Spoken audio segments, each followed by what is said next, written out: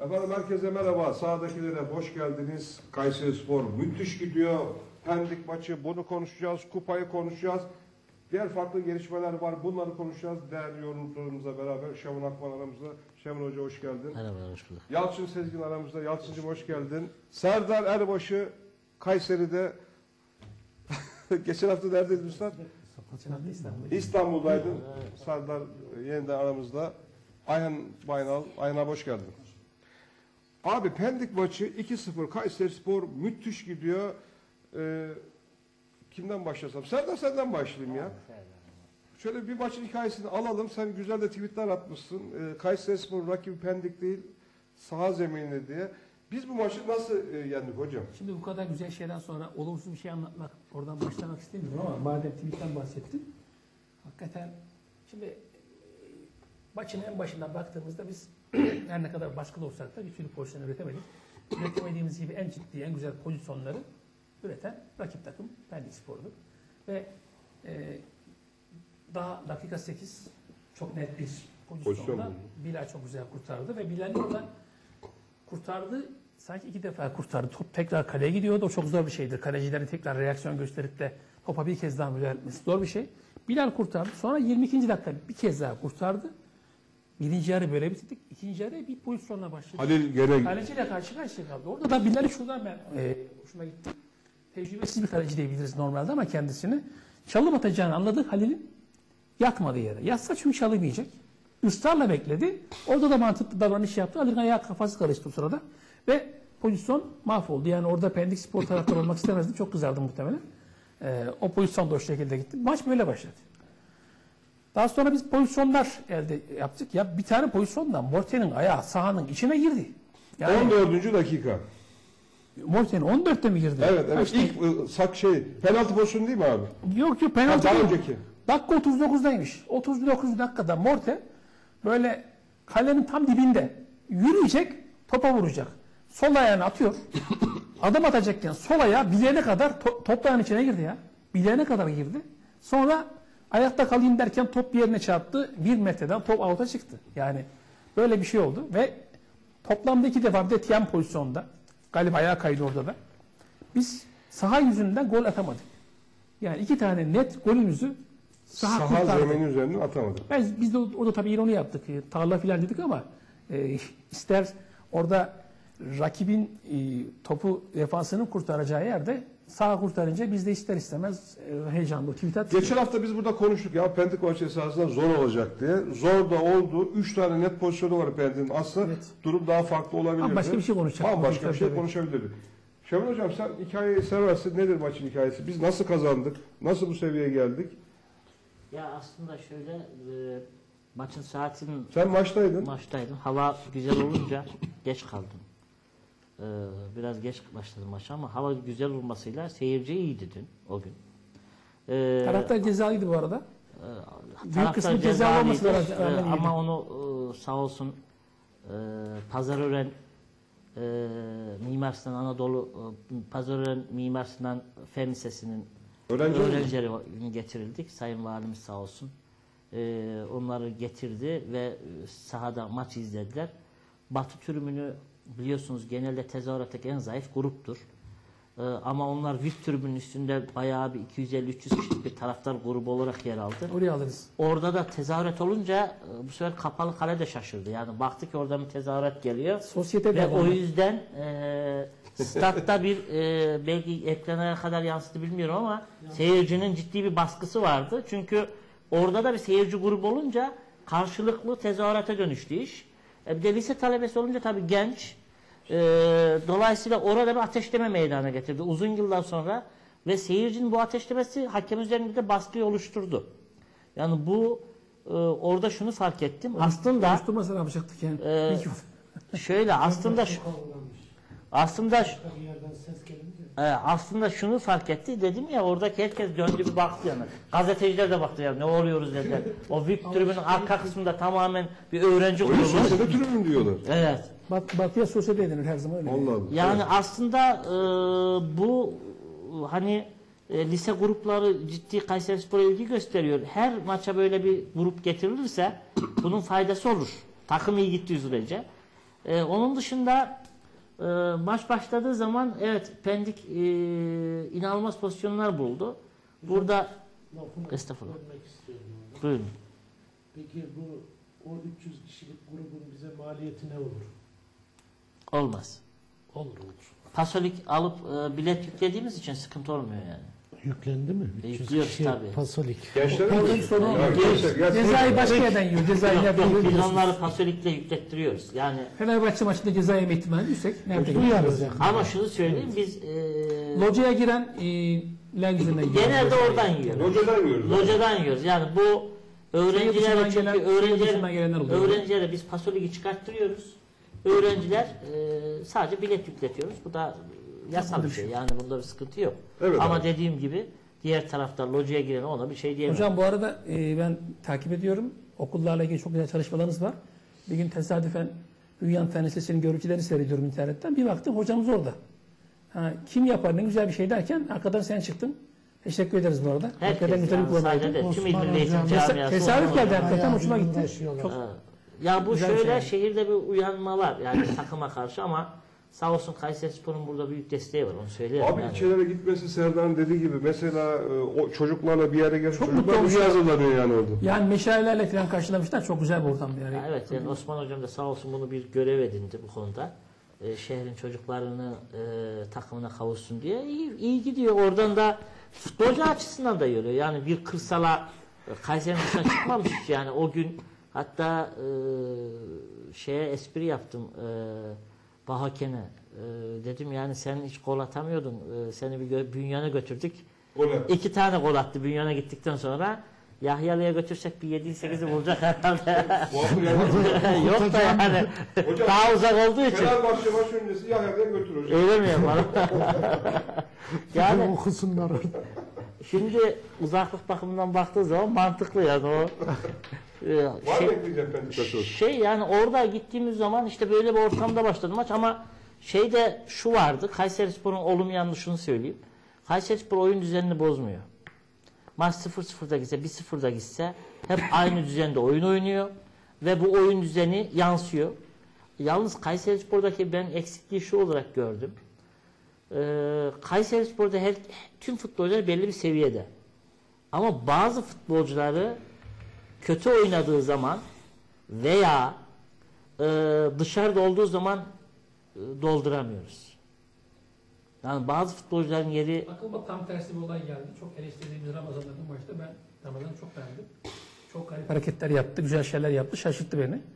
Bazen de böyle şeyler Oluyor. Şey Hasan Ali Kaldırım diyebilir miyiz? O efsane, onu ayrı konuşuruz zaten. Hakikaten efsane. ama yalnız e, dediğim gibi yani, yani bazı şeyler Dakika 90'da Hasan Ali dakika 90 35 yaşında değil mi?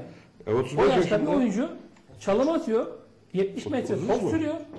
Ve pasını verebiliyor. Yani şaşırdım hakikaten bir hiç beklemiyordum. ben de mesela şeyi çok beğendim. Ali Karim'i çok beğendim. Yani hem defansta Ali Karim'in Hem takım yıldızı abi. gerçekten yani o gün e, çıplak gözle hem defansta hem ara pasları hem gelen topları toplaması müthiş oyunu yönlendirdi. Gerçekten dünkü maçta çok iyiydi Ali Karimi. Benim en çok beğendiğim. Beğendim. E, golüne yazık oldu. oldu. Hatta Ya- yazık oldu. Yalçın sen nasıl bakıyorsun abi? Şimdi ben maçı izledim. Gayet ki şöyle ilk yarısı inanılmaz sıkıcı bir maçtı. İkinci yarının ilk 10 dakikası da hatta ben yazacaktım hocama. Hocam nasıl oturuyorsun bu maçtan çık falan dedi.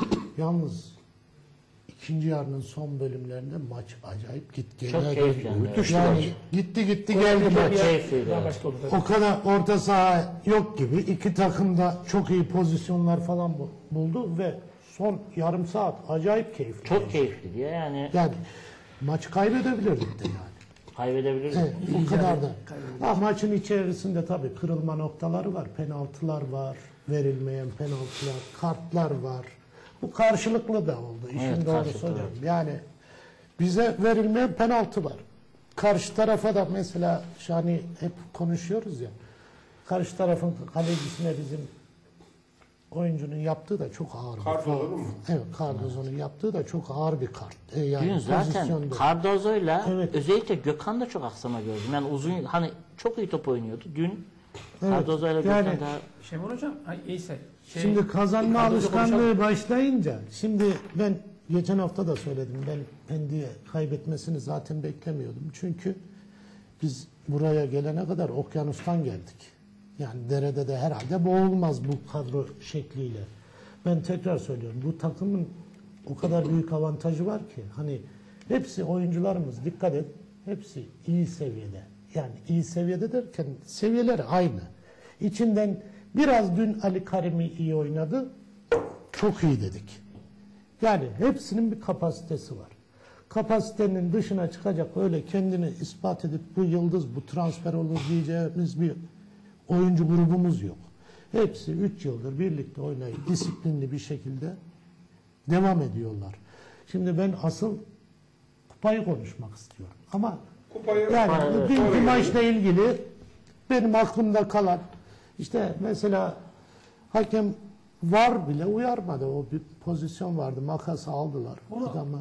Yani o kadar bariz yani- penaltıydı. O devam ediyor hakikaten izah. Sahayı da hiç konuşmaya gerek yok. Herkes Şeyde- görüyor. Televizyondakiler de görüyor. Peki Kayseri Spor'da vücut dilini beğenmediğiniz futbolcular olur mu hiç?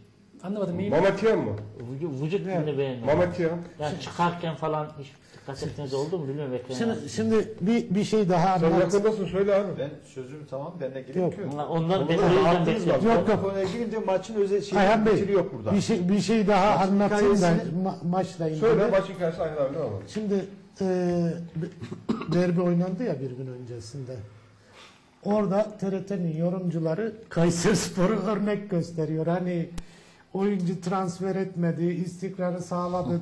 Kimse de Transfer demiyor etmedi ki. demeyelim. Olur mu öyle şey? Ya edemedi demiyor da işte etti ama- istikrarlı gibi gösteriyorlar. Hayır, Yani tam tersine şunu demesi Hoca lazım. işte Bu kadar kısıtlı imkanlarla nasıl aynen, böyle iyi transfer aynen. geldi demesi lazım. Demiyor ki orada ya adamların transfer yasağı fa- falan var. Bak bu şartlarda bu, bu haldeler demiyor diyor ki. Bak diyor hoca değiştiriyorlar. Hoca kaçtı demiyor. Hoca değiştiriyorlar istikrar devam ediyor diyor. Oyuncu almıyorlar istikrar devam ediyorlar. Yani hiç kimse bizim yokluğumuzdan bahsetmiyor. Peki Ayhan abi sen istatistikler de var. Genel olarak maçın özetini hikayesini bir de senden diyelim yan unsurlara geçelim sonra. Şimdi e, Yalçın Bey'in söylediğini önce desteklediğimi belirteyim. Maalesef hayatları ve hayatlara bakış açıları televizyondaki spor programı yapanlar Galatasaray, Fener, Beşiktaş olunca Aynen. öbürleri teferruat oluyor. Takımın transferi aç, e, kapatılıp tekrar açıldığını ya da transfer yapıldığından bir haber adamdaki sadece bir iki yerli futbolcu alıyor. Yabancılardan haberleri yok. Evet. Kısaca kendilerinden habersiz enteresan bir yorum yapıyorlar. Buradan da kendilerine e, selamlarımızı iletelim. Şimdi maçın hikayesini e, ben şöyle yorumluyorum. E, hatta biz ilk devre bittiğinde Murat Bey'le telefonla görüştük. Sahanın en kötüleri arasında 3 tane futbolcu saymıştım. Bunlardan bir tanesi Gökhan, Ailton ve Ramazan'dı. Şimdi Gökhan hemen çıkarıldı. Evet. Şimdi geçtiğimiz haftaki ideal 11'lerimizden farklı olarak e, Karol ve Kartal'ın yokluğu ön plandaydı. Yani Kartal aslında e, takımın e, bir nevi 6 numarasını oynayıp e, oyunu geriden kuran futbolcumuz. Onun yokluğunu ciddi anlamda hissettiğimizi e, söyleyebiliriz. Şimdi biz burada hep Gökhan'ı eleştirebiliriz. Ama Gökhan'ı eleştirdiğiniz zaman şu sonuç çıkıyor. Gökhan'ın beklediğimiz performansı yakalayamamasının sebebi nedir diye düşünmemiz lazım. Önce bunu bel- bel- belirlemekte fayda var. Az önce bir isim daha sundu. Ayrton dedim. Aynı mevki üzerine gidip gelip kullanılan yani kullanılan e, sağ kanat doğru mu? Sağ kanat üzerinde iki futbolcu bulundu genellikle. Ve Ayrton'la Gökhan birçok pozisyonda çarpıştılar. Yani birbirine mevkilerini e, mevkilerini kullanma ya da birbirlerinin önlerini kesmek gibi bir çarpışmalarla e, geldi. Yani daha doğrusu birbirlerinin alanlarına tecavüz ettiler öyle söyleyeyim. Haliyle bu etkiden dolayı da hoca bir kararını vermek zorunda kaldı. Ya, ya Ayrton alıp Gökhan'ın önünü açması gerekiyordu ya da Gökhan'ı alıp Ayrton'u rahata bırakması gerekiyordu. Ama Ve orada şöyle bir şey var. Siz sağ bek olarak oyuna başlayıp da ileriye gittiğiniz zaman dönmekte geç kaldığınız zaman ama bak Kayseri Spor'da çıkamadı. Çıkamadı. O yüzden yapamadı. Yani Bak. e, eskiden Hayır, hayır. Gökhan bunları yapıyordu. Orta yerine geçti. Ama bu maçta Bak şimdi mesele şu. Her iki futbolcunun birbirlerini anlaşamamadığını gördü. Hocamız gördü. Bu maç. Daha sonra şunu yaptı. Gökhan oyundan aldı. Janver'i stopere çekti. Atama e, Sağ. sağ. kanat aldı. Bu aldığı anda Ayton'un elini rahatlattı. Çünkü mevkisine müdahale eden bir oyuncu gelmedi. Bulunmadı. Atama ise biliyorsunuz hücumu pek seven futbolcu değil. Yani en azından belli bir noktaya kadar ileri çıkan bir e, oyuncu. Ve bu değişiklikle bir nevi Ayrton'da kurtardı Gökhan'da fazla e, harcamamış olduğunu Bir de şöyle bir şey var Kayserispor'da. Kayserispor'da forvet oynayan kim var? Mehmet Şu anda Mehmet Tiyan var. Mamatiyam var. Mamatiyam da ciddi anlamda rakipler tarafından kontrol ediyor. Bu sefer Mamatiyam kontrol edildiği zaman kanatlardan içeriye kat eden olmalı ki hatırlayın Onur döneminde Onur bunu çok iyi yapıyordu. Pozisyon bulalım. Dolayısıyla Ayrton bu sefer içe kat ettiği zaman Ayrton'un do- doldurduğu alan boşalıyor. O zaman işte Gökhan yerinde olmazsa Kayserispor ciddi pozisyonlar Bak, veriyor. Ayhan abinin anlattığı şöyle bir durum var. Mesela Yo doğru söylüyor ben onu Gökhan da anlatıyorum. sağ bek değil. O da dikine gitmeyi seviyor. Ailton. Ofansif Orada var sıkıntı Evet. yaşıyorlar. Gökhan'ı golcü yapmıştı daha önce. Evet. Golcüydü. Evet abi. Daha sonraki süreçte özellikle golün geldiği dakika gerçekten e, Morten'in Kafa e, pası mı? çok güzel kafa pasıyla bulmuş olduğumuz gol bizim elimizi rahatlattı. Gol attıktan sonraki süreçte Kayseri Spor oyuncu değişikliklerini aslında ben keşke bu oyuncular Kartal'ın e, ilk 11'de başlamasını temenni ederdim. İstediklerinden bir tanesi Hazır buydu. değil. Hazır herhalde. Hazır değil gibi ama hazırdı gibi oynadı en azından. Yani, e, şey yapmadı. E, çünkü kupa maçında da güzel oynamış öyle söyleyeyim.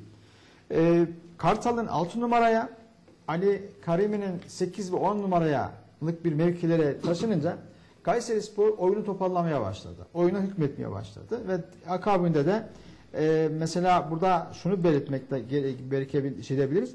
Mane e, bir nevi iyi bir top oynayamadı bu süreçten sonra. Carlos Mane de sıkıntı meydana geldi. Oyuncu değişikliğinin e, devamında Ramazan'ın çıkı- çıkılmasıyla e, Carlos Mane oyuna dahil olmasıyla beklenen performansı kanatta da kullanamadı.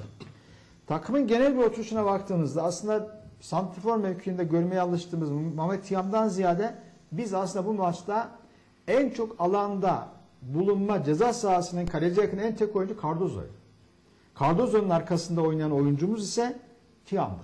Cardozo çıkışta zaten çok memnun olmadı çıkmamasına. Cardozo şimdi biz e, bir hatırlarsanız bir gizli santifordan ya da e, hayalet santifordan söz ederdik. Çünkü herkes Mehmet Tiam üzerine oynuyor şu anda. Biz burada Ayrton ve Cardozo'yu üzerine hareket etmeye çalıştık. Ben ve Kemen de bu maçta çok eksik oldu. Kemen de zaten bu e, takımın iyileri arasındaydı ama oyuncu değişikliğinden sonra da e, zaten 84'te Balkan'ın yerine girdi. O da isabetli bir tercih oldu. Tıpkı Trabzon müsabakasındaki gibi. E, sonradan oyuna girerek kendini göstermeye başlayan bir oyuncu e, hüviyetine katıldı. Ha burada şöyle baktığımızda maçı genel itibarıyla en iyilerini görmüş olduğum Hasan Ali Kaldırım'ı ön plana getirebilirim. Hasan Ali Kaldırım ilk defa Kayserispor formasıyla bu sezon mevkisinde oynadı. 90 dakika oynadı. Evet 90 dakika ve mevkisinde oynadı. Ve özellikle Carlos Mane'nin oyundan alınmasıyla önündeki alan tamamıyla e, Hasan Ali Kaldırım'ın kontrolüne geçti. Hasan Ali Kaldırım bu alanı çok iyi kullandı. Çoğu zaman kullandı. Hani şimdi 33 yaşındaki futbolcunun ceza sahasının hemen yanından top alıp ta rakip ceza sahasına da götürmüş olması ve asist yapıp da gole, gol olarak sonuçlandırması da ayrıca tebrik edilmesi gereken bir olay. Ben şöyle A- Hasan Ali Kaldırım'ı bilmiyorum. Sonraki süreçte biraz da detaylı yapabiliriz ama Hasan Ali Kaldırım'ın verileri her geçen hafta artarak gitmeye başlıyor. Yani istatistik verileri, maça sahaya yansıması e, ve oyunu kontrol altında bulunması yani vasattan vasat üzerine doğru çıkmaya başladı. Ben şunu düşünebilirdim. Maçın iç- e, maç başlamadan önce ya Hasan Ali Kaldırım aslında bu sezon Kayseri'de futbolu bırakır düşüncesi de hakim olan bir futbol şeydi. Anladığımız kadarıyla takıma e, iyi zamanda adapte olup zamanını eğer bir değerlendirebilirse e, devre arasında iyi değerlendirebilirse Kayseri Spor'a faydaları olabileceğini düşünüyorum. Çünkü Yalnız e, orada Mane çıktı oyundan dediniz. Mane sonradan Bana girdi ya. girdi. Mane'nin kötü oyunu oynamasının sebebini şey yaptı. Mane'nin- Mane oyuna sonradan girdi. Tamam. Ben lafı yanlış kullandım ama Yani Carlos Mane- deyince ben Carlos Mane'nin gidince çok iyi Mane, ha. kullandı. Çok iyi kullandı diyorum. Öyle söyleyeyim. Çünkü Carlos Mane istediğimiz oyunu oynayamadı. Onu söylemeye çalışıyorum. Ama açık kalınca çok rahat bir şekilde oyunu kontrol altına aldı diye e, düşünüyorum.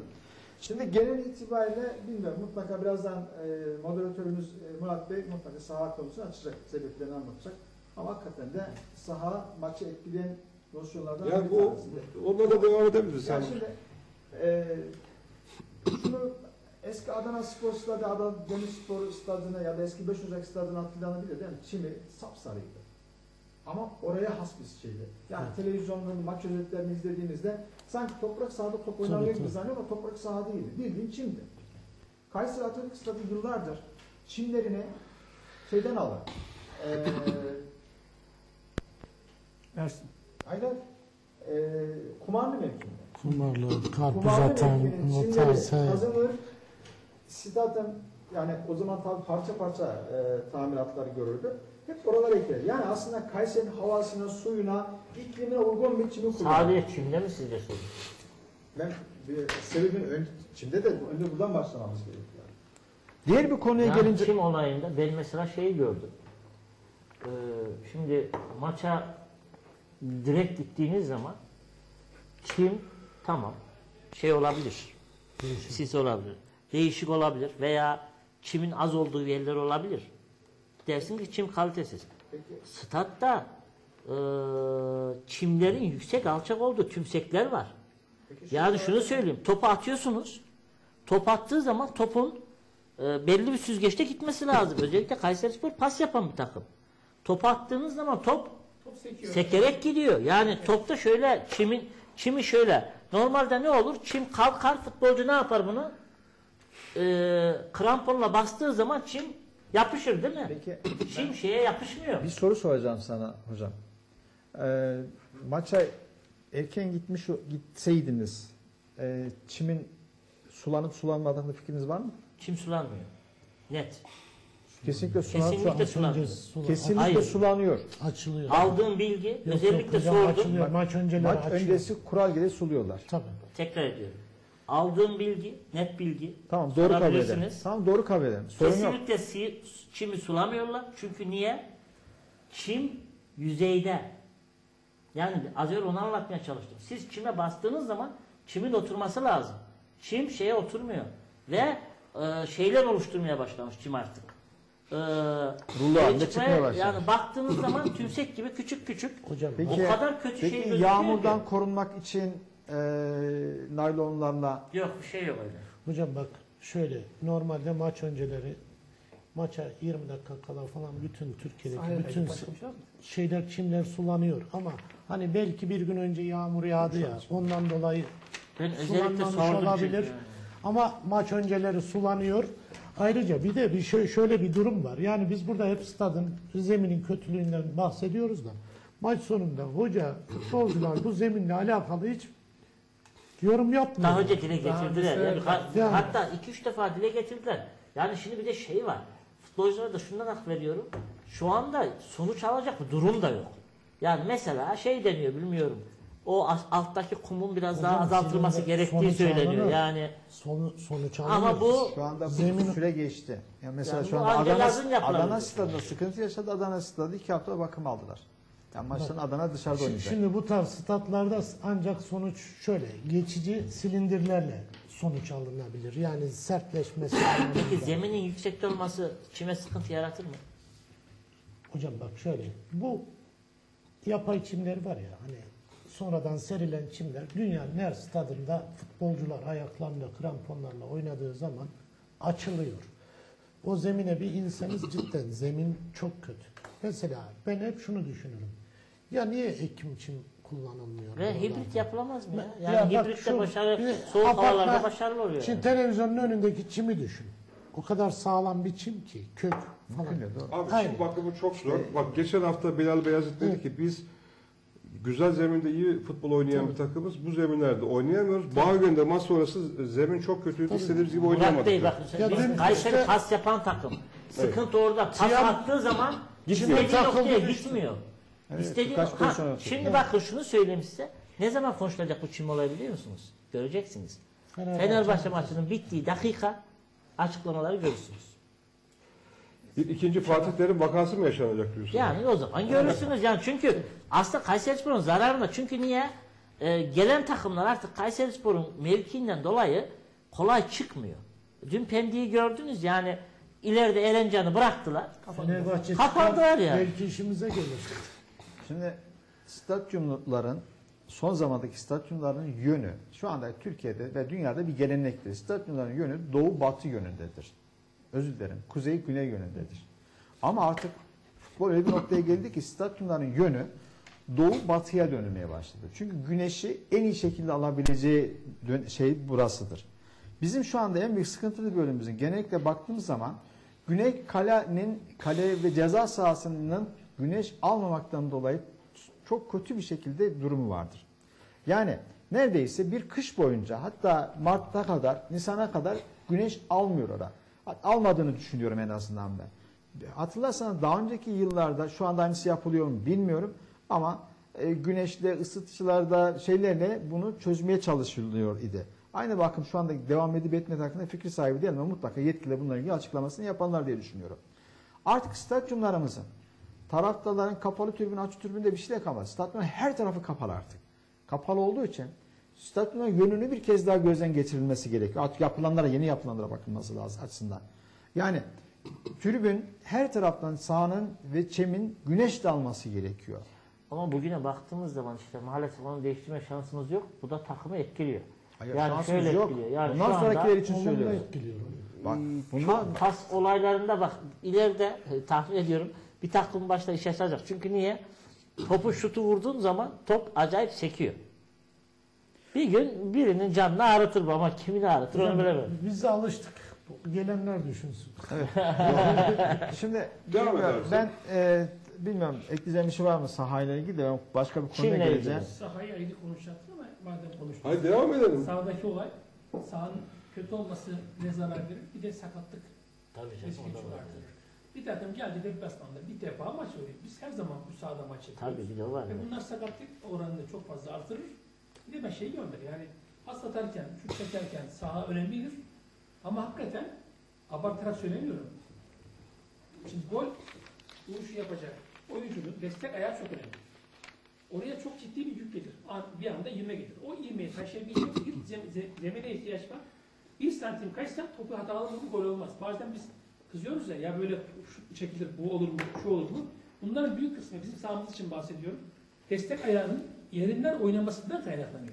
Ekranda nasıl Ben ilk defa burada Çok kötü. Ekranda nasıl görüyor? ayağı içine getiriyorum Evet, ya. iyi görünmüyor. Morten'in ayağı Sırıtıyor yani. içine girdi. Adam adam ayağı. Tiyan bir pozisyonda çok kötü. Diğer bir tane şekilde Şey, bir tane öyle oldu. iki tane ciddi yani pozisyon. top kaybetti. İki tane golü sadece bak iki tane net golünü bu yüzden atamıyorsan bu çok çok büyük bir sorun. Böyle basit bir sorun değil sinirden yani. şeye vuruyor.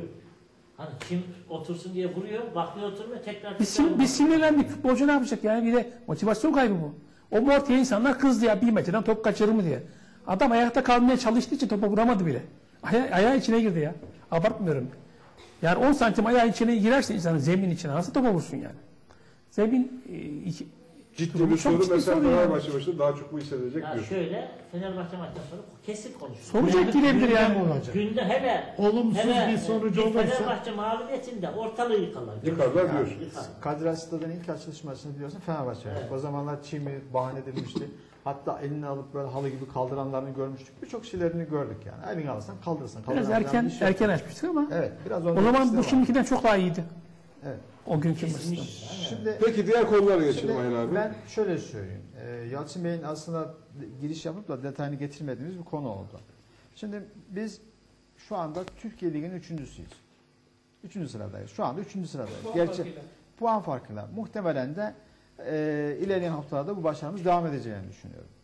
Ama biz yeterince gerek e, ulusal kanalların, spor yorumcuları, direkt ya, düzelterek konuşayım. İstanbul kanallarının ve yayıncı kuruluşun bunu görmezlikten gelmiş olması. Ve inan çıktılar diyor ki transfer yasa olan bir takımın böyle olması başarı gelir bilmem ne gelir. Bir de şuna ilave sen de attın abi. Şimdi lig üçüncüsü, lig, lig üçüncüsü takımın maçı yayıncı kuruluşun ikinci kanalında lig sonuncusu Başakşehir'in maçı küme hattı Başakşehir birinci kanalda yayınlandı. O da enteresan. Bu da tabii tartışma açık mesele. Biz Ya mesela nüfusa baktığın zaman da yani şimdi bakalım. Başakşehir'in seyircisiyle şeyin e, Alanya'nın toplam seyircisini top, Hatay'la oynadı. Hatay'ın toplam seyircisini topla. Ya şu aşamada. Ya baktığınız zaman yani O da saçma sapan bir ne, şey. Evet. ne mantık ya Kayseri Spor Kayseri Spor e, zaten üçüncü başa oynayan bir takım. Yenilse de üçüncü olacak. Yani ikinci ben hani sonradan baktım. ikinci kanaldan Buyurun. görünce şaşırdım yani. Hocam bu arada şeyi es geçtik. Ben seyirciyle ilgili bir şey söylemek istiyorum. Şimdi konuya sağ olsun ama. Osman. Hocam, Osman Hocam'ın sizin emekleriniz var. O öğrencilerin getirilmesiyle alakalı falan. Yani bunu biraz daha ben hep söylüyorum ya bu seyirciyi, gençleri oraya çekmek lazım diye. 2-3 tane okulu aynı anda getirseler mesela inanılmaz renk katar. Belirli bölgelere dağıtarak mesela e, Bünyan mı geldi? Yok Fenerbahçe. Pınarbaşı geldi. Oradan Tomarza'dan bir okul daha çaprazına. Yani böyle gruplar olsun. İnanın o çocuklar bir sonraki maçlarda falan gelmeye başlarlar. Ya hayat Oradaki şimdi bakın. etkinlikleri falan. Yani seyirci genç nüfusu oraya götürmek çok zor. Eğer ancak bu tarz etkinlik, valilik devreye girer, milli eğitim devreye girerse getirir. İnan o 300 kişiye desen ki bireysel olarak gidip ya hadi seni maça götüreyim hiçbiri gelmez. Çok etkileniyorlar. Evet. Şöyle bir şey söyleyeyim ben. Ee, başka bir yönden alacağım. Şimdi biz e, öğretmenler günde dört tane ili turnuva yaptık. Beden eğitimi öğretmenlerine. Kırşehir, Nevşehir, Niğde ve Kayseri. Beden eğitimi öğretmenlerini şeye davet ettik Kayseri'ye. Hem ağırladık hem de mini bir turnuva yaptık öğretmenler günü sebebiyle. Ee, Bunun da açılışını yapması için Kayseri Spor'dan rica ettik sağ olsun. Onlar da bize her konuda yardım ediyorlar. Şimdi müthiş bir şeyleri var yani sağ olsun. Ve Tiam'la Tiam'la Klavesios geldi. Yani orada e, Kırşehir'den gelen, Nevşehir'den gelen, e, Niğde'den gelen öğretmen arkadaşların tamamı futbolcularla fotoğraf çekildi ve inanılmaz hayrete düştüler. Yani çünkü niye? Hep ekranda gördüğü bir şeyin e, futbolcular orada gördüler, fotoğraf çekindiler, teşekkür ettiler, sohbet ettiler, e, onlarla Ya sohbet bunların ilgisi oluyor. diyor. yani çünkü şimdi şunu söylemeye çalışıyorum. Yani normaldeki bir öğretmenlerimizin bile bu kadar ilgisi olduktan sonra Olur. öğrencilerin hayatına bunlar dokunuş sağlıyor. Yani biz sürekli gördüğümüz için veya hocam- sürekli onlarla içi- bir şekilde görüştüğünüz için size çok normal gelebiliyor ama öğrenci için o öğrenci için ekranda gördüğü bir tane hayalin karşısında görmesi oluyor ve bu futbolculara şu yandan da teşekkür ediyorum. Ya saatler boyu şey atıyorlar. İmza atıyorlar. Hocam bak bir Hiçbirinin de bugüne kadar ben yüzünü bak yüzünü kırıştığını görmedim. Hatta burada ne- söylemek ne kadar doğru bilmiyorum. Birçok yabancı futbolcu okullara şey yapıyor. Yardım mı? Yardım yapıyor. Bak bir yabancı futbolcunun okullara yardım göndermesi yani okullara derken okuldaki herhangi bir okulun malzemesi falan değil. Okuldaki fakir ihtiyaç sahibi çocuklara Yardım ediyor. yardım göndermesi Hocam bu, bu Yani- adamlar zaten özel olmak Yani istiyor. gerçekten hani şimdi bunlar, aynı oyuncu İstanbul'da oynasa durmadan imza form e, forma imzalıyor. Yani Buralarda bunun dışında zaten ama mesela eksiklik yardım bu. olayının bile olması bence e, futbolcunun Şeyde- kültürün, takım kültürünün oturduğunu gösteriyor. Şeyde Bu yapılabilir. beni Mesela keyif bu, veriyor. Yani bu bu tarz keyifli bir etkinliklerde şey. mesela o kapalı kale, kale grubundan onların içine katıp onları coşturacak falan Peki. yardım destek Bu de kültür alıyor. Oluyor. Niye İstanbul bu kültür şey yapmıyor? Sessiz kalıyor lig üçlüsü. Sen devam et abi. Oradan. Şimdi maalesef yani şu anda biz puan cetvelinde üçüncüyüz. İlerleyen Maalesef haftalarda derken.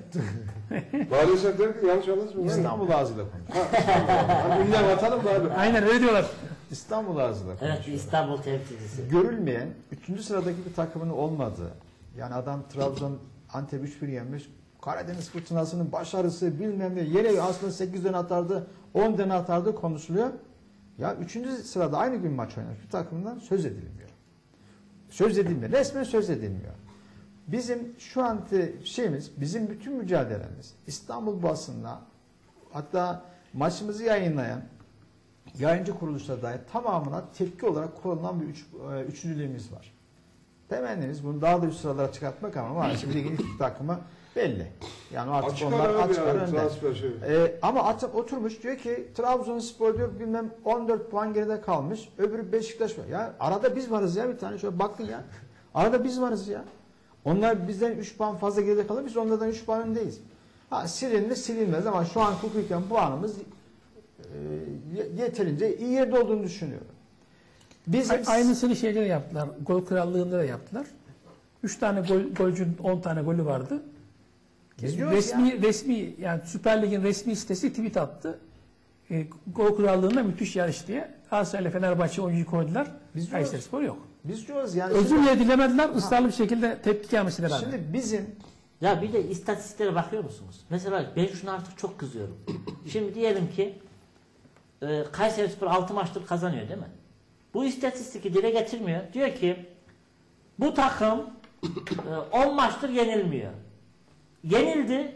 Bu takım deplasmanda 7 maçtır yenilmiyor. Deplasmanda yenildi. Bu takım geçen yıldan beri şunu yapmıyor. Ya kafadan istatistik uyguluyorlar. Zorlama istatistikler. istatistiğin ağzını ben çıkarırım.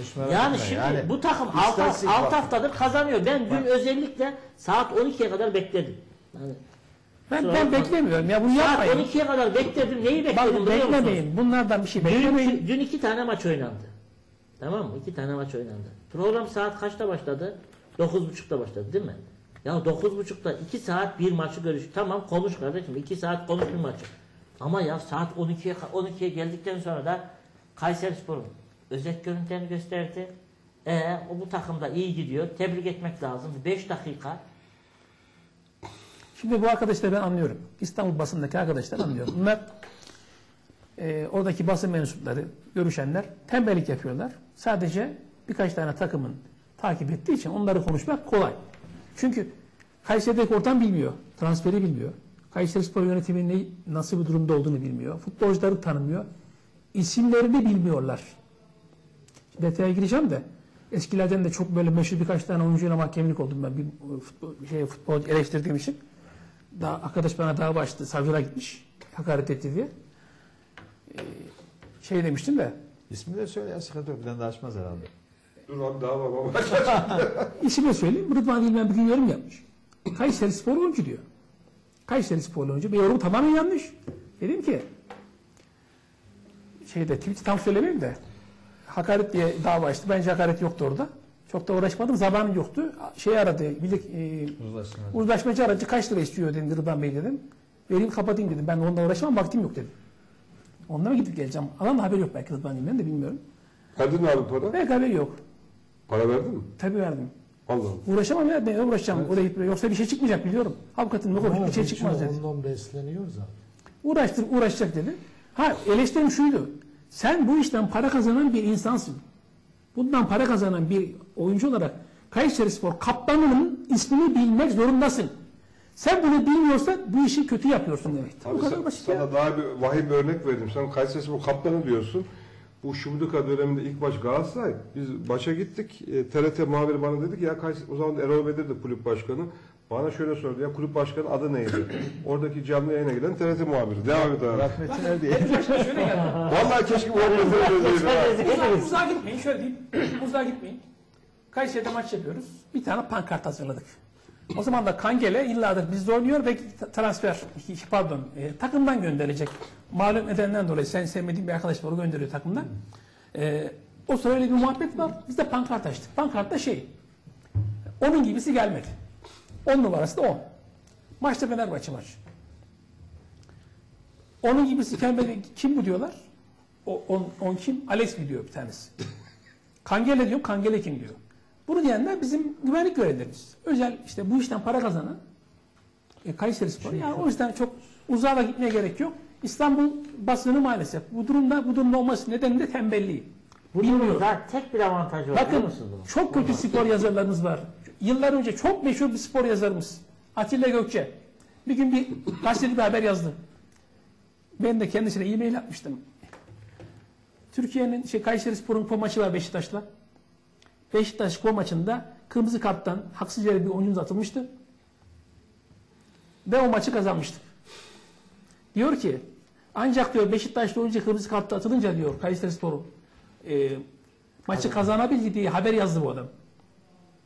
Kendi takip ettiği Beşiktaşlıyım dediği spor yazarı maçı izlemeden yorum yazmış. Bu kadar müthiş kaliteli bir İstanbul basınında eleştirmeye çok gerek yok. Sadece tek avantajı Ben, var. ben bakın akşama kadar bekledim diyorsun. Beklemeyin. 12'ye kadar niye bekliyorsunuz? Niye onların İstanbul takım maçlarının saçma yorumlarını dinle- dinlemeyin ya. Hakikaten çok kötü yorum yapıyorlar. Hatırlarsanız şöyle Bakın söyleyeyim. bir tane hakem şey, penaltı pozisyonu diyor değil mi? Pozisyon oluyor. Bak daha siz şey yaptınız, sen konuştunuz ya. Yorum yaparken kafası dönüyor. Ben bu takımı aleyhine bir şey söylersem sıkıntı çıkar mı? Onu düşündüğü zaman olmuyor. Bizde şöyle bir şey var mı? Sizde var mı? Şimdi geliyorsun, patır patır Şimdi, şimdi tartışıyorsun. hala başkan mı bilmiyorum. Bu TRT Spor Dairesi'nin başkanı bir Kayseriliydi. TV Kayseri ziyarete geldi. Ben e, ziyaret etti de dedim ki ya kardeşim tamam İstanbul kanallarını anlıyoruz. Yani onlar e, onlar İstanbul televizyonu. Ben anlıyorum onları.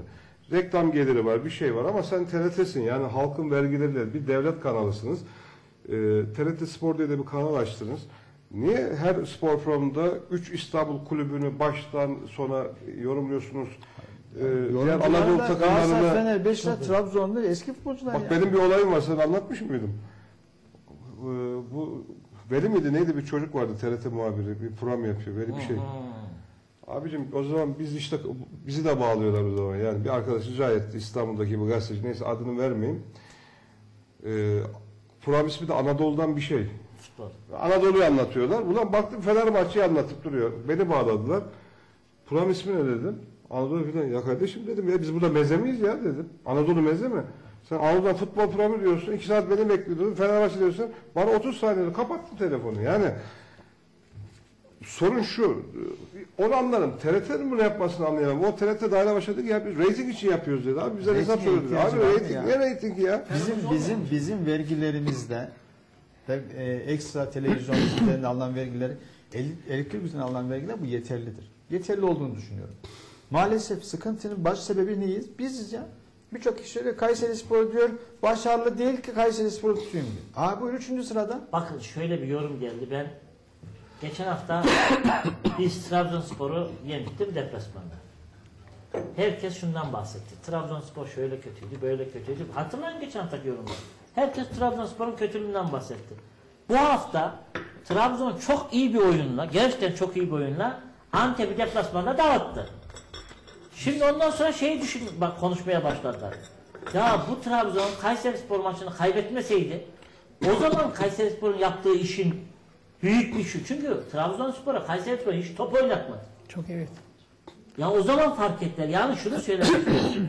Bir maçı o maç üzerinden yorumlamıyorlar. Bir maçı bir başka maç üzerinden yorumlamaya başlıyorlar. Bu da yanlış sonuçları doğuruyor. Ama hadi biraz latife yapalım. Bunun iyi bir sonucu oluyor. Her futbolcuyu tam izlemedikleri için sadece büyük maçlarda izliyorlar. Sonra diyorlar ki ya bu futbolcu çok iyi top oynuyor diyorlar. Transferleri de ona göre yaptıkları zaman Hocam hüzün olabiliyor. İşte Beşiktaş'a giden Hiç yani oradan anladın herhalde başka da. e, hatırlarsanız 2000 önceki tren arkadaşım. hatırlarsanız Kayseri Spor Bursa Spor'da e, şampiyonluk mücadelesi veriyordu. Evet. Biz şampiyon liderdik yani öyle söyleyeyim.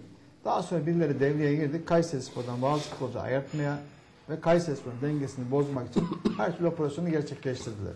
Yani bu takımın ismi yani belli sayılı vardı ama listenin başına her zaman Galatasaray oluşuyor. Benim korkum şu. Şu anda oturmuş bir takımımız var. Uzun süredir bir arada bir arada oynayan bir takımımız Ya bu var. yıpratır mı diyorsun? Benim çekindiğim nokta yarın senin kalecine el atacaklar. Yarın senin o futbolcularına el atacaklar. Yapacaklar bunu bakın. Bir kenarda yazın. Teknik Yapacaklar. adama, teknik adama, Alacak Ya, oyuncumuz teknik- yok. Alacak değil, bizden alacaklar. teknik adama, Bizden alacak oyuncular yok. teknik adama. Nereden biliyorsun hangisini alacak? Almak şart mı ya? Bir tane takıma Ya bir dakika. yıldız göster. Ama maçı yapmıyor ki. Bey, yapmıyor. Bak almak şartı. Ali Turan'ı aldılar, Antalya'ya kiralık gönderdiler. Bizim takımı dengesini bozdular. Ya basit Furkan'ı aldılar. Tribünde Şimdi maç seyretti. Bak ben alıp kullanmak önemli değil. Eğer hedefin bir takımı çelle kurmazsa o takımın dengesini bozacaksın. Şi- Şimdi bak Ayhan. Futbolcuların beklentisini Bunun- artırma bununla, yeterli. bununla Evet. ilgili bir şey söyleyeyim. Şimdi ben hep şöyle söylüyorum. Bu seyirciyle alakalı da falan düşüncelerim. Hani geçen hafta bir istatistikler falan niye maça gitmiyorsun istatistiği falan. Şimdi ben şuna karşıyım. Şimdi bir kulüp işletiliyor. Bu kulübün iddiası yoksa kan kaybı başlıyor. Ve soluğu Bursa gibi, Eskişehir gibi, Gençler Birliği çok iyi bir örnek. Gençler Birliği'nin çok iyi olduğu dönemlerde, beş kuruşsuz borcunun olduğu dönemlerde bile ben hep diyordum ki bu Gençler Birliği küme düşer, ekmeğe muhtaç olur diyordum. Yani e, ekmeğe muhtaçtan kastım farklı. Şimdi iddialı olmayan hiçbir takım ne seyirci götürebiliyor tribüne ne de düzenleri uzun vadede devam ediyor. Bakın şimdi çok iddialı olsak, borcumuz olmasa, Avrupa'ya oynasak ne yapsak? Şu andaki konumumuz o stadı doldurur. Doldurur. Ama şimdi seyirci şunu düşünüyor. Yani biz üçüncü de olsak Avrupa'ya gidiyoruz. Hayır, hayır onu Avrupa'ya gidilme olayını tartışıyoruz. Yok, Daha bak, şu anda seyirci niye gitmiyor onu? ihtimalimiz var. Şimdi ya onunla ilgisi yok. Yok yok var. var. Bak Onu ben izah ederiz. dün bir tane genç bir çocukla sohbet ettim. Dedim ki derbi maç öncesiydi dün dedim pardon. Ya dedim, Cumartesi. siz Kayseri Spor'un maçlarına gidiyorsunuz mu dedim. Yok abi de gideceğim dedi ya. Niye dedim. Ben dedi Fenerbahçe'yi tutuyorum dedi. Bak ben de dedim ki ben de Galatasaray'ı tutuyorum ama maça gidiyorum dedim. Kayseri Spor'un niye maçına gitmiyor? Hiçbir iddiası yok ki dedi. O yanlış bak size Bak, bir başından geçen bu sana yanlış gelebilir. Ama gençlerin Yanlış ve bakış saçma. açısı o. Bakış açısı bir tek Türkiye'de var bu başka bir yerde yok desem Tamam işte, yalandır. bak, bu, nerede var bakın bu Afrika'daki ülkelerde var. Abartmış şaka yapıyorum ha. Tanzanya'da böyle. Tanzanya'da Tamam. ne tutuyorlar? Hepsi İngiltere takım tutuyor. Yani bakın Özbekistan'da bir olay var. Baş, başıma gelmişti. Anlatayım tekrar size. Bir daha anlatayım olayı. Abi ama İngiltere'den de takım tutulur şimdi etme yani. Bakın Özbekistan'da şöyle bir olay belli başımıza ki onlar da farklı o da Afrika'ya benzemeye başladılar. Ee, bir Özbek kardeşimizle sohbet ediyoruz. Güzel bir muhabbet var. İki tane Türk arkadaşımız veya bir arkadaşım da var. Konuşurken e, dedi ki e, hangi takım tutuyorsun diye sordu. İşte ben dedim Kayseri Sporluyum. Arkadaşım Fenerbahçe dedi. Başka dedi. Ya tamam İstanbullusun ama dedi başka dedi. Arkadaşı konuşuyor. Hayır Fenerbahçeliyim ben diyor. Hayır tamam Fenerbahçe İstanbullusun ama diyor İstanbul'da yaşıyor arkadaş bu arada. Takım Real Madrid tutuyorsun diyor, Barcelona tutuyorsun diyor, işte bilmem neyim. Hayır diyor ya, anlatamadı. Çünkü karşıdakinin zihni almadı böyle bir şey. Bizdeki de aynı şey. Zihnimize sokmuşlar. Tamam mı? Ya İngiltere'deki, İngiltere futbolu, Almanya futbolu niye böyle? Adam bir tane kasabada yaşıyor. Kasabanın adı Giripsi Town. Giripsi Town takımı tutuyor. 11 bin kişilik bir stat doluyor. 10 bin tane kombine satıyorlar. Kasabanın nüfusu 20 bin. Evet. İşte Şimdi o zihniyete gelmek için bir kere bu futbol taraftarlığının bozuk temellerini yıkmamız lazım. Bu çok zor bir şey. Bizim temel bozuk. Taraftarlık zihniyeti bozuk. Baba Fenerbahçeli, oğlan Fenerbahçeli olacak. Dayısı Galatasaraylı, oğlan Galatasaraylı olacak. Niye bilmiyor? Çocuk niye Galatasaraylı olduğunu bilmiyor. Şimdi bak. Hayatında Galatasaray maçını seyretmemiş ama Galatasaraylıyım diyor. Ser- Gidiyor. Serdar Bey. bin- 1500 lira verip formasını alıyor. Şey, bunun bun- anketini de yapalım. Bu, bu saçma bu. Bununla ilgili Bey, bunun bir sürü yapalım, sebepler geçin var ya. Şimdi bakın, şimdi başarılı değil, hedefi yok. Hayır, bu saçma bir vahaneden öte değil. Bakın Kayseri Spor 10 sene üstü şampiyon olsun. Taraftar sayısı o kadar artmaz. Abi şey merak ediyorum. Yapma, Şimdi öyle değil. Hocam sen dedin ki ben Galatasaraylıyım dedin. Sen niye Galatasaray olma ihtiyacı hissediyorsun abi? Evet, güzel bir soru. Evet, şöyle bir şey var. Baban hangi takım Ka- mıydı? Kayseri Spor şampiyonluğa oynasın. Ben Galatasaraylı olduğum kadar Kayseri Sporluyum. Yok niye yani Hayır, Galatasaray? hayır. Niye Galatasaray? Şimdi Türkiye'de Yok, bu da ben seni yargılıyor. Fenerbahçe Bu da seni yargılamıyoruz Bak bak. yok beni Ya o yanlış- konuda yanlış anlama. Türk Gayet insanını- mantıklı hayır, tamam. Türk insanını yargılama hakkın yok. Niye? Herkesin gönlünde bir takımı var. Yok abi merak ettim. Evet. Yani bana Trabzon'da Fenerbahçeli yok mu? Var. Var. Var yani. Buna Biliyorum var. engel Hepsi- olamaz. Galatasaray'da hepsi var. Evet. Bizzat tanıyorum çünkü. Evet. Al, olamazsın. Şimdi karşında bir tane büyük hedefleri olan sürekli şampiyonluğa oynayan bir takım var. Şimdi hani uluslararası arena var ya orada da benim takımım Arjantin mesela. Hiç Arjantin'den başka takım tutmam. Dünya kupalarında falan.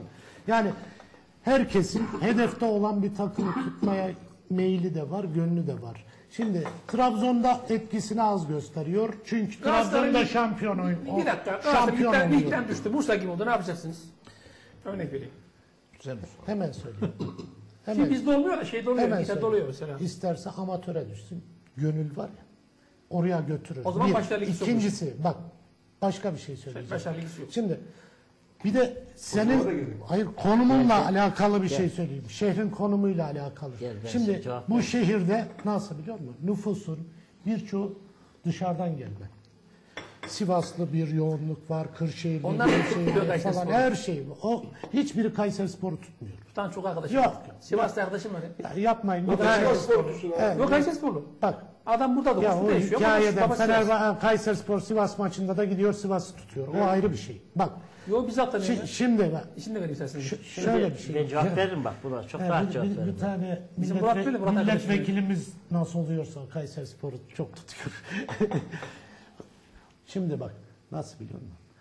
Şimdi hocamgilin yaptığı uygulamalar var ya işte hani o öğrenci gruplarını falan yani çocuğa Kayseri Spor da var burada arkadaşı aşılarsan taraftarın artar.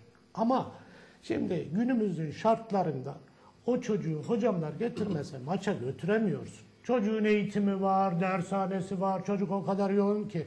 Kayseri'deki kaç bin tane öğrenci var hocam? 310 bin. 310 bin. Biz 30 binlik stat'tan bahsediyoruz. Senin deminki stat... şey, Ah, stada bir dakika, bir değil. dakika. Stada sokmak bir dakika. Stada sokmak. Orayı görmesi. Demin söyledin sen. 20 binlik nüfusun 10 bin kombinesi var diye. Nüfustan bahsetmiyoruz. 300 bin öğrencinin biz 10 binini getiremiyoruz. Hayır o kasabadakiler şey Şimdi- Tamam. Abi sen şöyle bir ara Bunun Hayır, hayır. var. Ya Ben- bu zihniyet- Dağıttık bak, bir dakika, ben bu bu şöyle bir cevap vereyim Bir dakika de. bu zihniyetin, bakın tekrar söyleyeyim, bu zihniyet savunulacak bir zihniyet değil. Tamam bu zihniyet Türkiye'de depolandı, empoze edildi. Temeli bozuk. Bu Gerçeklerimiz temeli, bu temeli gerçek değil bu. Bu sahte bir gerçek. Önce bir tanesi projeksiyon konmuş. O projeksiyonda ne varsa onu izliyorsunuz ve bu hatalı bir şey, doğru bir şey değil. Türk futbolunu bu ilerletmez, ilerletmiş durumda. Sadece bu şu işe yarar. Anadolu insanların, Anadolu'da insan daha böyle mutlu bir şekilde taraftarlık yapacak bir grubu parasını, cebini, gönlünü sömüren bir zihniyet bu. Bu kadar basit. Bu, bunu Bu savunamazsınız. dünyanın her tarafında böyle. Değil. Değil. Hayır, Hayır, değil. hayır, Hayır, hayır. Bak, İngiltere yok ama İspanya'da böyle değil, İtalya'da böyle değil. Olur Yalçın mu? Bey. Belçika'da böyle biri değil ya. Şimdi Siz ona şunu kaçırıyorsunuz. bir dakika ben bir şey Ya söyleyeceğim. Barcelona'nın Şimdi bu, iş, forması bu işin bizim kaynağına inmek var. için 1930'lu yıllara inmeniz lazım. Bak, bu işin kaynağına inmek için. O tarihte bakın Kayseri futbolunun sanki olmadığını, 1966'dan sonra doğduğunu zanneden bir sürü insanlar var. Ya şu anda Kayseri Sümerspor'da forma giyerken İtalya'ya giden futbolcumuz olduğunu bilen var mı? Kaç kişi biliyor bunu? Şimdi bakın. Bak şunu söylemeye çalışacağım. Sebep nedir biliyor musunuz? Bütün basınımız İstanbul merkezli yönetildiğinden kaynaklandı. Ya her Bakın. ne olursa olsun bakın bir şey Ama hocam, hocam bir bir şey şey bak ben savunmaya Hocam, geçmek istemiyorum ama bir tespit geldi orada. Bak, Murat Bey bak, de dedi ki ben ben, de bir cevap vereyim. Yani Yani söyle abi sonra şimdi bak şimdi siz e, geçmişle tamam mı? Geçmişle bugünü kıyaslamaya çalışırsanız çok yanlış sonuçlara ulaşırsınız. 1980'li bir ortamda veya çocukluğunuzun geçtiğini düşünün. 90'ların başında. Amatör ruhun olduğu. Hayır. O dönemde çocukluğunuzun geçtiğini düşünün. Tamam mı? Benim öyle gezme geçtik. geçtiğini düşünün. Kayseri'de yaşanmadığınızı düşünün. Kırşehir'de yaşadığınızı düşünün. Tamam mı? Kırşehir'de yaşadığınızı düşünün. 80'li yıllarda insanların spora ulaşabileceği iki nokta var. Kırşehir'de, Nevşehir'de. Kayseri için demiyorum. İki nokta var. Bir yazılı basın, bir tek kanallı televizyon. Tek kanallı televizyonda 3 tane maç veriliyor. Verilen maçlar Beşiktaş, Galatasaray, Fenerbahçe'nin maçları. Yazılı basın sürekli yazıyor ve sadece yazılı basında, ulusal basında yazılan şeyler 1980'ler için söylüyorum. Galatasaray, Fenerbahçe ve Beşiktaş. Doğru. Tamam mı? O dönemde yetişen bir çocuğun Kırşehir'den Nevşehir'de yetişen bir çocuğun Kayseri sporlu veya Adana sporlu veya Demir sporlu olmasını bekleyemezsiniz. Bunu beklersen bugünün kafasıyla o günü düşünürseniz yanılırsınız. Farklı bir şey. Ama şu an için bakın bakın şu an için şu an için şu var bakın. Şu an için şu var. Ben eskiden diyelim ki Kırşehirliyim. Kayserispor'a bir şekilde Kayseri'ye geldim. Ulaşabilmek için ulaşabilmek için ne yapacağım? Buradaki şehrin takımını buraya seyretmeye geleceğim. Şansım buydu. Ama bugünün çocuklar için bu geçerli değil. Neden? Bugünün çocuğu Ya bu Türkiye için değil. Hadi diyelim ki yurt dışından bir takımı tuz, alakasız bir takımı. Baktığınız zaman internete girdiğiniz zaman tüm verilerine, tüm tarihine, tüm geçmişine, hatta tüm maçlarını seyretme imkanına sahipsiniz.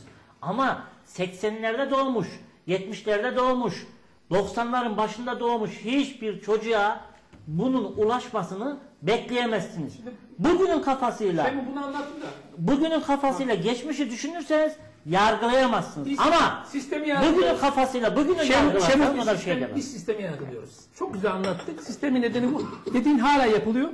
Biraz daha delik var sadece. Yani isteyen hakikaten ulaşabiliyor. Hocam ama, ulaşabiliyor. ama hala zihniyet, bozuk bir zihniyet. Biz bu zihniyeti eleştiriyoruz. Hayır tabii ki bakın Tek 1980 bir soru soracağım sana. benim çocukluğum o tarihte geçti. Se- Bak, bir çok. Kayserili olmasaydın bak. ben tek soru anlatayım sana madem öyle örnek Tek ver. bir soru soracağım. Bak Hayır, tek bir soru. son soru. Kayserili olmasaydın, Kayserili olmasaydın, aynı şekilde Aksaray'da doğsaydın ve o yıllarda yaşasaydın Kayseri sporlu olma ihtimalin yüzde kaçtı?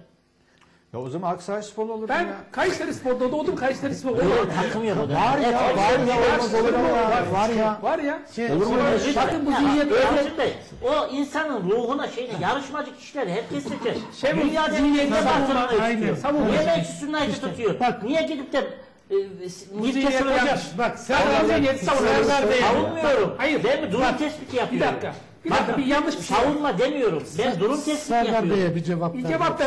Abi, Bir dakika ben önce bir şey burada konuşayım. Bak şimdi. Şimdi bunu savunma Bir olarak algıladın sen? anlattığın hayır 80'li yıllardaki durumu anlattık mı anlattık. Anlattın. Gayet normal hakikaten. Tamam. Biz de ona kızıyoruz. Ve bunu bilinçli Tamam, olarak yapıyorlar. tamam. Ve bu hala yapılıyor. Tamam.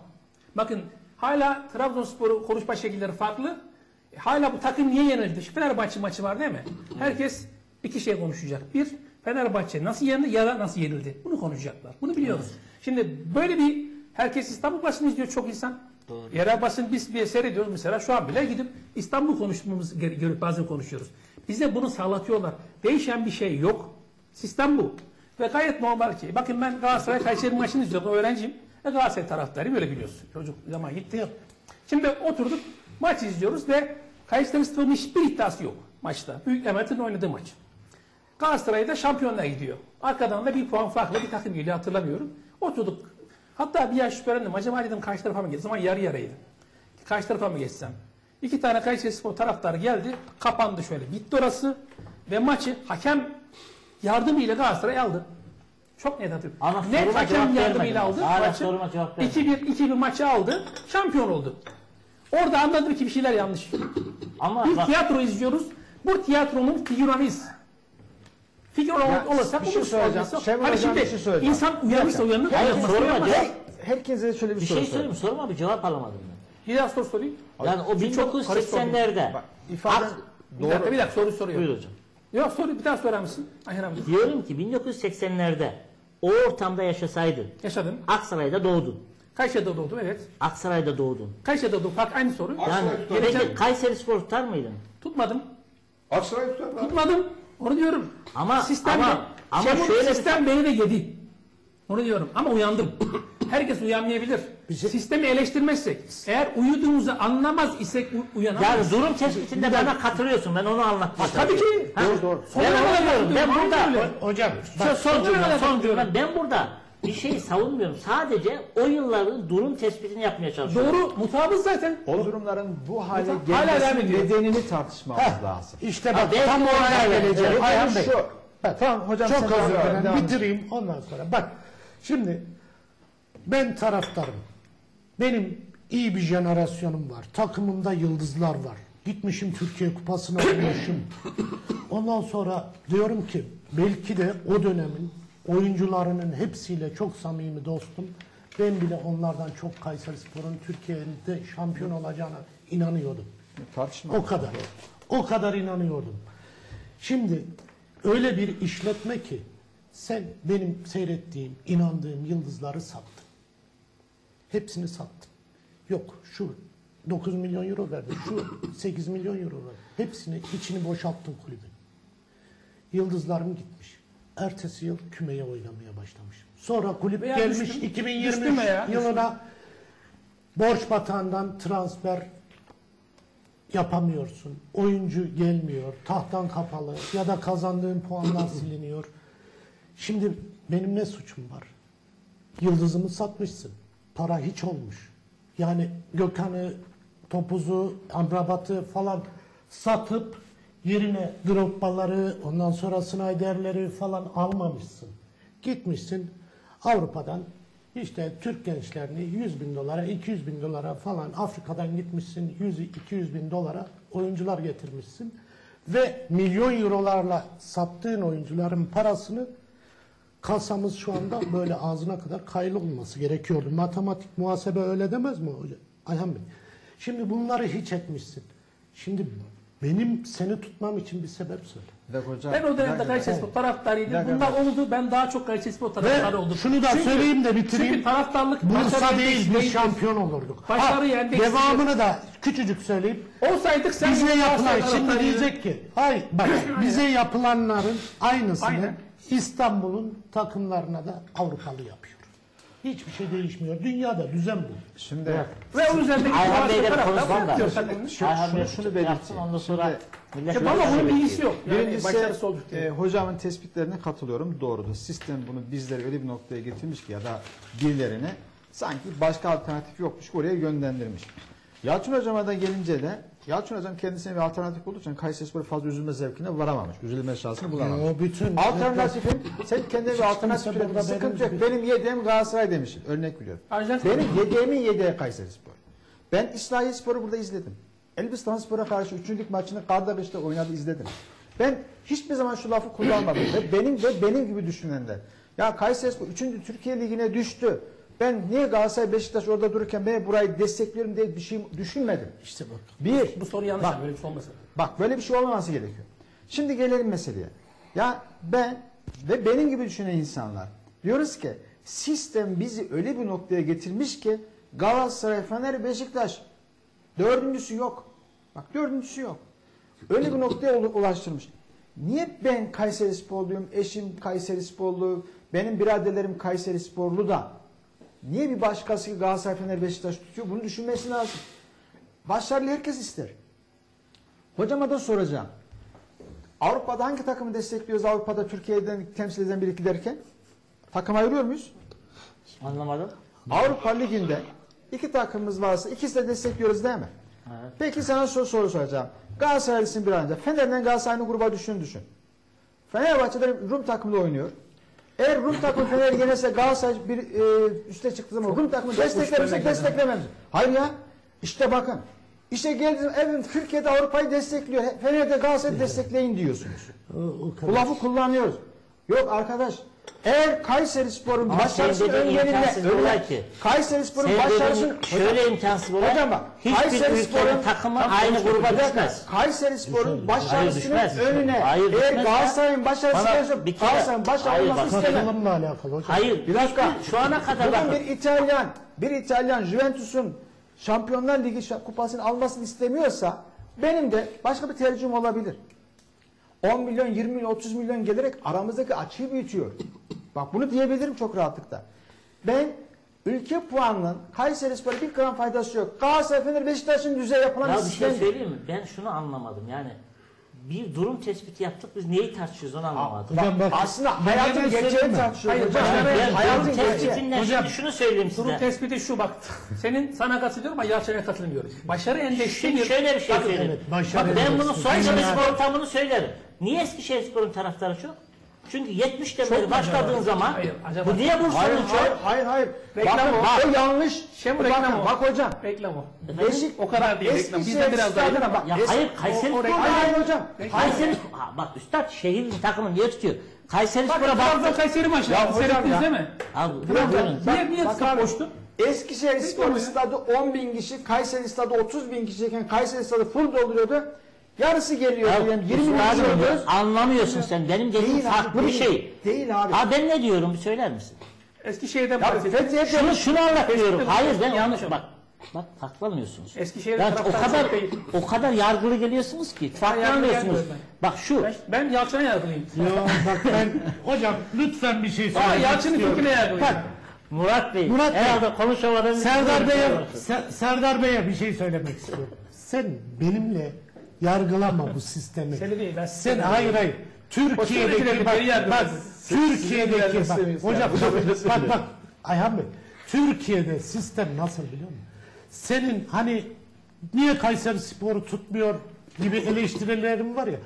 Senin bütün Anadolu'daki takımlarını, başkanları, yöneticileri gene Fenerbahçe'yi Galatasaray'ı Beşiktaş'ı filan. tutuyor. Ya da Doğru, doğru. Seni yönetenler bile onu tutuyor. Doğru, doğru, doğru. Sen orada seyirciye haksızlık edemezsin. Seyirci de istediğini Abi, satar. seyirciye ben bir Murat Bey, Murat Bey konuşabilir miyim? Hiç kimse müdahale etmeyecekse Hocam konuşuyor. şimdi Bandırma Spor'un başkanı Beşiktaş'a yönetici olmuşsa Evet. tartışacak bir şey yok diyeceksin. Aynen işte. Yani Konuşayım bu bir Ya bir Kayseri Spor yapmıyor. Başkanı Bak bir şey Beşiktaş söyleyeyim. olmuyorsun abi. Ne Bir şey söyleyeyim, konuşayım mı? Söyle. Şimdi bakın, ben şunu söylemeye çalışıyorum. Eskişehir'in taraftarı, Bursa'nın taraftarı fazla demiyorum. Şunu anlatmaya çalışıyorum. 70'lerde, 80'lerde Türkiye Spor Ligi, Süper Ligi'nde bulunan takımlar öyle anlatayım onu.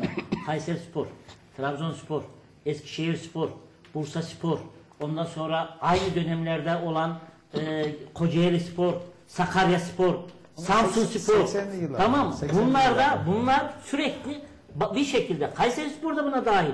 Sürekli Süper Lig'de görüldü. Düştü çıktı ama görüldü. Evet. Anlatabiliyor muyum? Bunlara şehrin takımlarının meyil etmesi normal. Ama aynı dönemde Bingöl Sporu, Müs Sporu, ne bileyim işte atıyorum Niğde Sporu, Aksaray Sporu, hatta işte Isparta Sporu, Burdur Sporu göremiyorsunuz. Anlatabiliyor muyum? Hocam. Ben bunu anlatmaya çalışıyorum.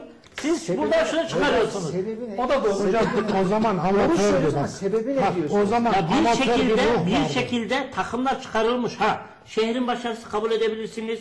Oradan bir iş adamının desteği kabul eder onu bilmem. Ama 70 şimdi siz bahsederken bak bir şey söyleyeyim. böyle ya da böyle.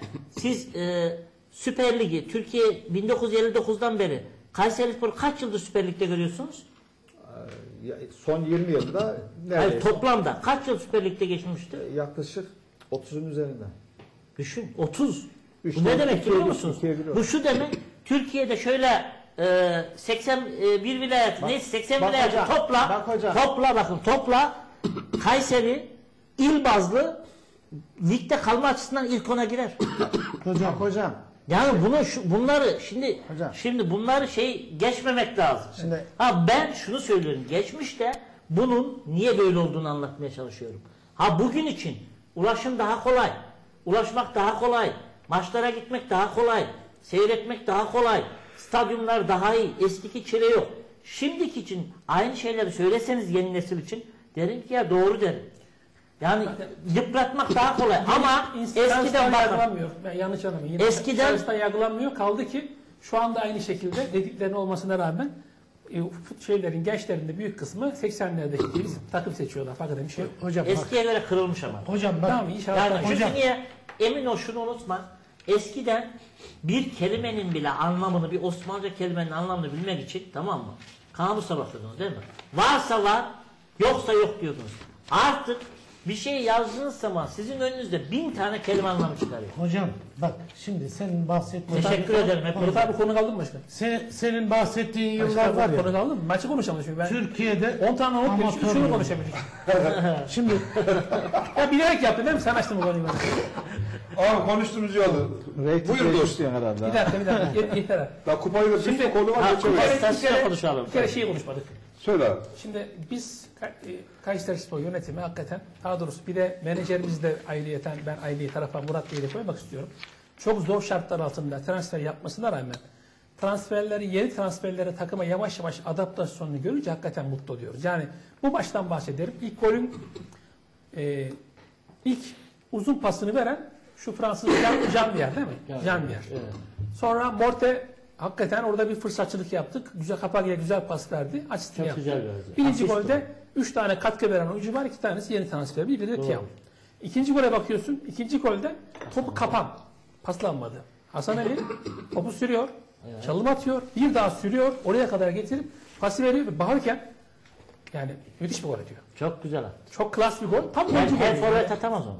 Şimdi o yani golcü vuruşu. Golcü. Yetenekli bir oyuncu oldu. Oradan belli. Hakikaten ayağı sağlam yere basıyor ve ceza sahasını önden çok sert vuruyor. Kaleci yak- topa yaklaşamadı.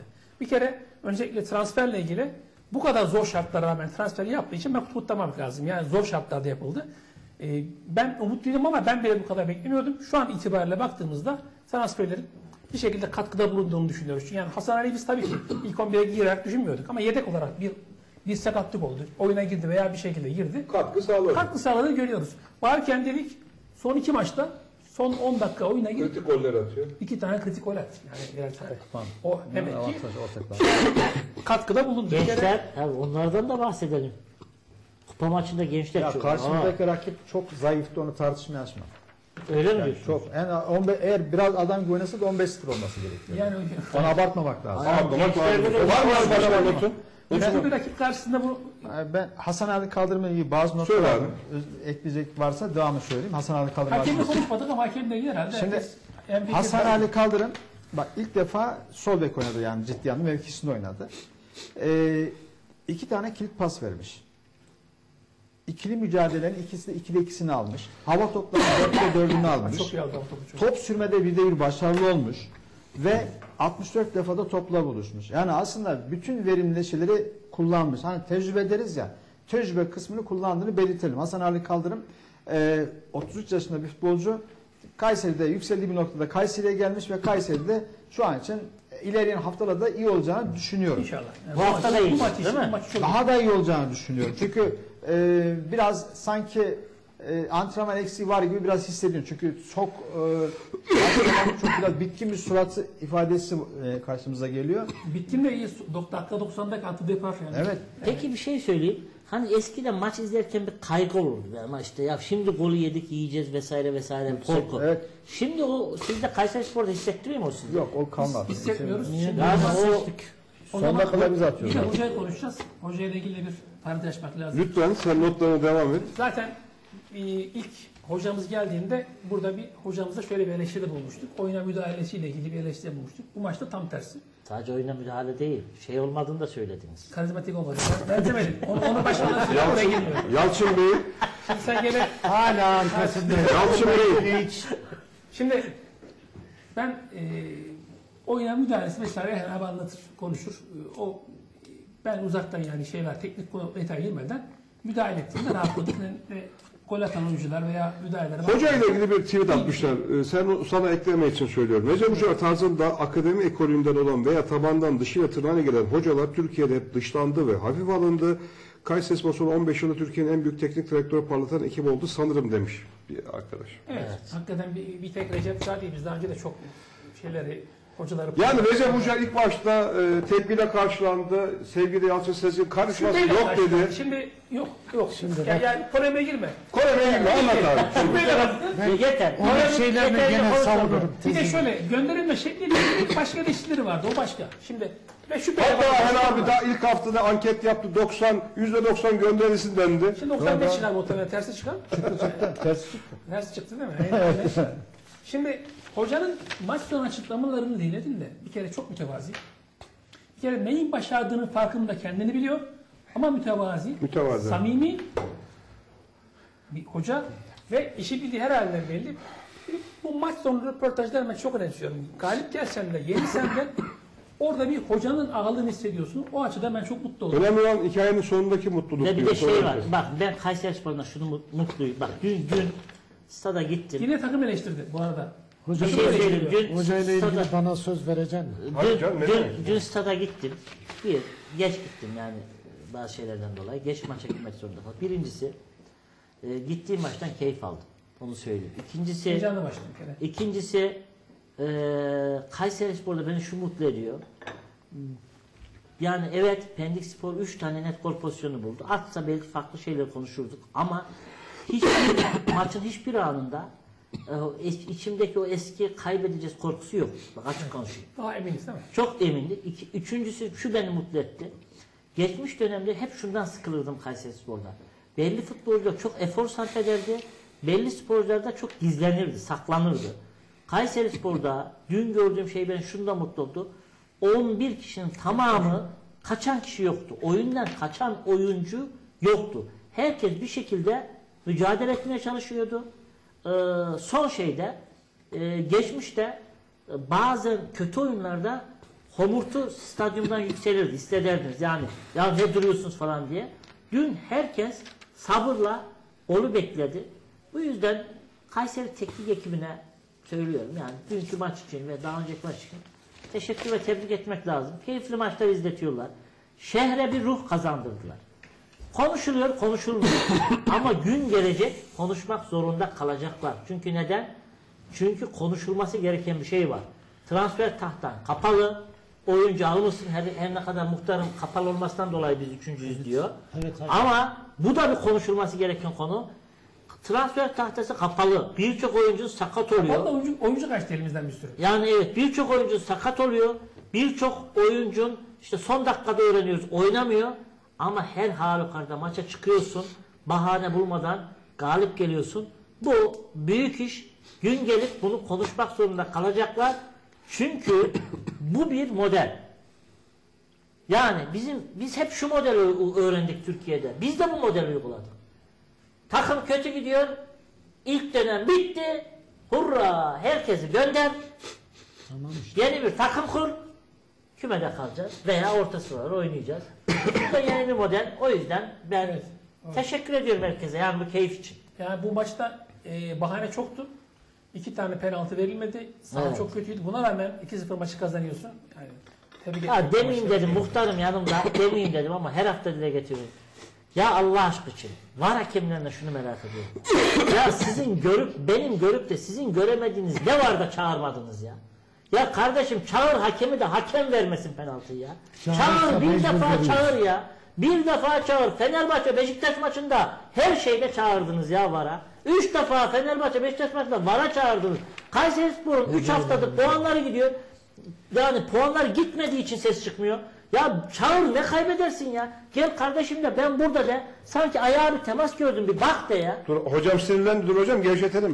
Şöyle ben geleyim. Aman hocam. Ya hakem deyince Aman sakin ol hocam gözünü seveyim şimdi. ama şunu söyleyeyim. Galip gelirken kimse sesini çıkarmaz ama, Ama yarın da hakemde ama. mağlubiyet olduğu zaman Ama yine de sinirlendik yani. çok göz göre göre böyle bir hata yapınca insan ister istemez sinirleniyor. Yani. Söyle abi. Yalçın bir şey söyleyecek. Şimdi hocayla ilgili bir şey söyleyeyim. Ben her zaman şunu söylüyorum. Türkiye'de yerli hocanın çalışacağı en güzel şehir, en rahat şehir Kayserispor. Doğrudur. Kayserispor. Seyirci baskısı olmayan, yönetim baskısı olmayan, tribünde çok Pozitif futbolda etki veren. evet anlamayan seyirci topluluğu bak bir grubu kastederek söylüyorum. Şimdi bu hocanın gene dönüp dolaştırıyorsunuz bana sataşıyorsunuz da. Sataşmadık Bu. Sataşmadık. ka- Hatta karizma falan olayı ben size bir örnek Ya vereyim. hocayı her ödümüzü Bak. üstüne alınma ya. Bak Hikmet Hoca gittikten sonra kim geldi bu kulübün başına? Samet Hoca. Yok. Önce Uğur Hoca geldi. En iyi başarılar da Uğur Hoca sayesinde ligde kaldık. Evet. Yani Uğur Hoca'nın ne günahı vardı gönderdi? Başarısız mı olduydu? Yo 6 maçta 4 puan aldı. 4 maç kazandık. Dört maç. 6 Bak, maça çıktı 4 maçı kazandık. Evet. He, şimdi niye gönderildi Yalçın hocam? koşu, koşu haber getirmeye çalıştılar. Hayır, Sonra- niye gönderildi? Niye o gönderildi de Samet geldi? Cevap. Evet, şimdi bak Türkiye'de istediğiniz kadar şey yap. Bak ben iddia ediyorum. İki tane maç kaybetti. İsmail'in de orada kalıcılığı yok. Rıza yalvar yakar geldi. Rıza'nın da kalıcılığı yok. Rıza'nın bütün takım arkadaşları yönetime girdi. Rıza'yı gönderirler hiçbir şey yapamaz. Hiçbir şey yapamazlar. Oraya bak Sergen gelse kalır. Ben tekrar iddia ediyorum. Şimdi bu takımdaki başarı da şöyle bir şey. Kayserispor'un ben iddia ediyorum hoca başarısı değil. Bizim futbol şansımız Ya, şöyle iyi. Bak hocam şehir olarak. Maç şey Hocam bak, yeni hayır, bak hocam bak bak değil değil. Bak Ertuğrul Samsun'u küme düşürdü geldi burada başarılı oldu. Tolunay Türkiye Ya 5 Kupası'nı maç, aldı. 5 maç Şotay'ı, Şotay'ı, Arkadaşlar? 5 maç sonra Bak. gideceğini konuşacağız. Hayır, ya. Şota'yı getirdik. Beş maç yine sonra başarılı hocanın oldu. gitmesini konuşacağız. Ondan sonraki süreçteki gelen hocalar Kayseri Spor'da başarılı olur. Niye? Ya Rahat bir şey. arkadaşlar, arkadaşlar bizde herkesin taraftarın beklediği olay şu. Kayseri şu, şu Kayseri Spor şu anda 3. sırada. Evet. Olası, ya. ol- olası ihtimalde bile Kayseri Spor Avrupa Kupalarına gidebilir mi'nin cevabını arıyor. Hemen şunu soralım. Evet. Ali Çağlı bir açıklama yaptı. Dedi ki bizim esas sorunumuz ulusal lisans sorunumuz. Bunu Evet. çözmemiz lazım. Nedir abi bu? Şimdi Kayseri Spor Kulübü 31 Mart tarihine kadar Tamam bu önemli. 31 Mart tarihine kadar bir geçmiş döneme ait planlanmış ve ödenmesi gereken borçlar varsa ödemesi gerekiyor. Bir bu. Ya da tekrar yeniden yapılandırma varsa bu yeniden yapılandırma dosyalarının teslim edilmesi gerekiyor. Eğer Kayseri Spor Kulübü bu iki maddeyi yerine getirirse ve bu sürede 31 Mart'a kadar e, tamamlarsa 31 Mart tarihi itibariyle ulusal lisans alma hakkını kazanmış olur. O da Avrupa Yani Kupası'na gidiyorsun. Bu da Avrupa Kupası. Çünkü bu be- bu işin başlangıcı 2024-2025 sezon için geçelim bir başlangıç aşamasıdır. Yani bunu belirtelim. Şu anda biz bu 2023-24'te sıkıntılıyız. Bunu tartışmıyoruz. Ama 24-25 sezonu Sayın Başkanımız anlatmaya çalıştığı mesele şu. Tahtaya açıp açmamak mesele değil diyor. Bizim önemli olan diyor Ulusal lisans ulusal lisansı alıp e, UEFA'nın bize vermiş olduğu e, bizden istenen şartları yerine getirip takımı Avrupa kupalarında oynatmaktır. Peki böyle gidersek inşallah takım da belli bir yere gelirse hani puan farkı falan açılırsa almak zorunda kalınmaz mı? Mecbur alacağız. Mecbur alacağız. Bak bu işin şeysi yok. Mecbur almak zorunda. Şu anda Bursa Spor'un bir açıklaması var. Kısaca konuşup uzatmayacağım. Aynı şartları yerine getirmiş, şartları bozmuşlar, anlaşamamışlar. Şu anda neyi tartışıyor biliyor musun? Şu anda normalde ikincilikte düşme hattında muhtemelen küme düşürecekler. Evet. Kim düşürüyor biliyor musun? Avrupa'dan gelip düşürür mü diyor. Yani Türk te, te, TFF'nin meselesi değil bu. Evet. Bu şart defalarca şartları yap yap bozmalarından kaynaklanan bir olay. Şey de yapalım. e, herhalde vakit kalmadı ama şu e, kupayla ilgili statüyle ilgili konuşuyorduk. Abi ya. onu da şöyle Onu bitirelim. haftaya şimdi bir sadece Kısa haftaya, bir şey söyle çok kısa haftaya bir şey konuşalım. söyleyeyim. E, ben Murat Bey'e attım herhalde bir metni attım. Attın abi. Şu anda Almanya'da çeyrek finaller oynanıyor. Ee, bakayım bir çeyrek bir istatistik vereceğim. Çeyrek finallerde ee, Bayern Münih'i elediler. Dortmund'u elediler. Eriyen takımlar üçüncülük takımları ben şu anda Murat Bey ee, size atmıştım herhalde sizde duruyor mu bilmiyorum ama Bakayım abi istiyorsun. şöyle bir, çok Hemen, hemen bir soru sorayım devam. Peki bu takımlar maçları nerede oynamış? kendi Kendi evinde. Onu anlatacağım zaten. Bakın. Sakatlık burada başlıyor Şunu zaten. bir okuyabilir miyim? Almanya Kupası'nda çeyrek final eşleşmeleri belli oldu. Tamam mı? Saarbrücken üçüncülük. Borussia Mönchengladbach. Gladbach. Yedincilik. Birincilik. Hertha Berlin, ikincilik. ikincilik. Kazakstaten ikincilik. Bayer Leverkusen birincilik. Stuttgart birincilik. San Paulo ikincilik. Fortuna Düsseldorf ikincilik. Bununla birlikte yarı finalde iki ikincilik bir birincilik takım olması kesinleşti diyor. Tamam mı? Saarbrücken yani üçüncülük takımı Bayern Münih ve Eintracht Frankfurt eledi diyor. Tamam mı? Şuna bakılırsa diyor sonuçta finalde ikincilik takımı ile üçüncülük takım olması ihtimali var gibi diyor. Var. İşte- Ama bizde niye yok? Bizde niye yok? Biz Van Spor Seri başı. Ha biz Kulübü'nün Iğdır'la biz burada maç yapıyoruz. ya düşünebiliyor musun? Çeyrek final 8 takım Yalnız arasında Bir şey var. Kayseri Spor alt ligdeyken çeyrek finalde Yar, yarı final, oynamıştı, Ay bak, yarı bak, final miydi? yarı final. Kayseri Spor Galatasaray'la eleyerek çeyrek final yarı finale çıktı. evet o zamanlarda İkincilikteydik. Şimdi bu sistem ama, yapmıştık. ama neden biliyor musun Serdar?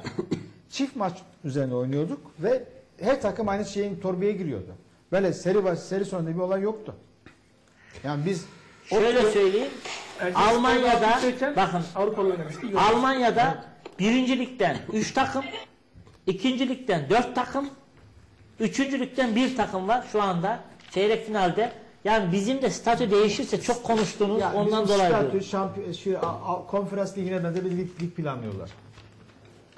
Öyle söyleyeyim. o zaman Aynen bir geçmiş öndeki olsun. grup aynı şekilde. Ya yani. Almanya gibi bırak deplasmanda oyna tek elemen Ya, olsun. bak, Yenen yensin. Hocam bir şey söyleyeceğim. Biz daha yeni 64 takım 32'ye indirdik. Hocam adamlar çeyrek finali bir oynuyor. Evet. Biz 64'ten 32'ye indirmişiz. Daha maç yapmayan bir Süper Lig takımımız var ya. 4 tane takım daha yeni bu kuraya şeye girdi. 5. turda girdiler. 6 da ya 6'ya girdik. Hala da evimizde oynuyoruz değil mi? O, evet. Böyle saçmalık olur mu ya? Peki. Var mı notlar? Serdar'cığım var mı notun? Ayhan Baba var mı? Ee, Ekleyecek notlarımız da vakit dar artık. Yani kısa bir şey varsa. Yok şey gerek yok. Çünkü konu Tamam. açacağımız her konu başlık. Şevval abi Biz konuştuk. Muhtarımla da tartışmadık bugün. Evet, Ya muhtarımla ilk defa fikir birliği oldu. Nasıl oldu Yani ben ben anlamadım. e, yani. şey hocam, Koalisyon kurup buraya Allah devletten koalisyon mu yani ben bugün şey senden beklerdim. İngiltere bana- Premier Ligi'nden örnek bana vermedin. ha. sormadın? Var mı bir şey Dur diye. sana geleceğim. Şeyden dolayı. e, Premier- Almanya Lig'den örnek Abi verdik ya. Premier Lig acayip gidiyor ya. Kaç şampiyon adayı E, var. Şu anda Liverpool lider. Aston Villa, Tottenham neyse. Evet Yalçın hocam. Hemen söyleyeyim. Hiçbir iddiamız yok. Tahtamız kapalı. Ben şu kupa maçında oynayan gençler var ya. Evet. O gençlerden puan, yeterince puanımız da var. Ligin içinde hocadan şöyle bir beklentim var. 2-3 tane at. Çocuklar primden faydalansın. Biz onları izleyelim. Yedekte bulunan primden faydalanıyorlar. Yok o önemli değil. Ben o prim şey ama anda ge- onları İnşallah. bir sahaya at. kaçtığın maçta alırsın. Her- her galibiyet- Ben var ya inanılmaz kupa maçından acayip keyif aldım. İnşallah alır inşallah. O kadar Böyle keyif 3-0 aldım. öne ki. geçince alırsak bu sefer. He. Bir 3-0 yapsak. Ha bu arada kupa maçında Maestro gibi bir Kolevetsios vardı. Ya dedi. gençlerin önüne- Aklıma evet, getirdi. evet. Son Yüzüncü soru evet, abi. evet, evet, Orada ne bir şey diyorsun? ya. Dur abi. Yarın bunu soracağım. Abi- Abi, istiyorsa yarın soracağım. Dur Kolevasyos Dalya dedi. O çocukları çok güzel Abi dur. öğretti. Yüzüncü kez formayı Bana, giydi. bana 5 dakika sürebiliyor musun? Ver verelim abi. Yüzüncü yıl. Abi bak. Şimdi 100. yıl formalı giyip de Yo, yo, yüz- yüzüncü kez. Ben fotoğrafını tek tek getirdim öyle programa. 100. Dedim yıl. 100. maçın Yüzüncü maç. bir laneti var futbolcuların üzerinde. Ben çıkartmışım. Kangele 100. maçını oynadı, sakatlandı, bir daha göremedim. Sapunarı 100, 101 102'de bitti. Bir daha da kadroya giremedi. Ali Turan 100. maçını oynadıktan sonra başına neler geldi hepimiz biliyor. Umut Bulut keza 100. maçtan sonra neler yaptığını e, Luk 100. maçını oynadığı gün sakatlandı. Hamid diyor 100. maçı oynayamadan 99'a gitti. Ve şu anda elimizdeki ve kim var? Kalavetsiyoruz. 100 dedi. 101'i görür müyüz bilmiyorum. Geçti. Ay, Kaç? 100. Tam 100 bir Tam şeyler- 100. Kupa maçı 100 mü? Tam 100 oldu. Tamam atlat. Şimdi olay ne biliyor musun? 100'den artı bir eksi bir. Bir şekilde 100'ü bulan, bunlar hepsi takım kaptanlığı yaptı ha. Bulan insanların bir şekilde başına bir iş gelmiş. İnşallah gelmez Kolevetsios sor. iyi adam. Yarın söyleyecek. Aynen mi söylüyorum? Yarın Yani bu biraz enteresan gibi şimdi Değil mi? ama Tam Doğru bak, geliyor. ihtiyacımız olan oyuncu. enteresan Görüşmem gibi geliyor ama maalesef sebep nedir bilmiyorum ama 100. maç işte açtın mı da açıyor. Ama açamadın mıydı o çevrede debelenip duruyorsun. Adam gibi tam ciddi anlamda kadroya giremiyor biliyorsunuz. Ciddi anlamda. Sebebi nedir bilmiyoruz.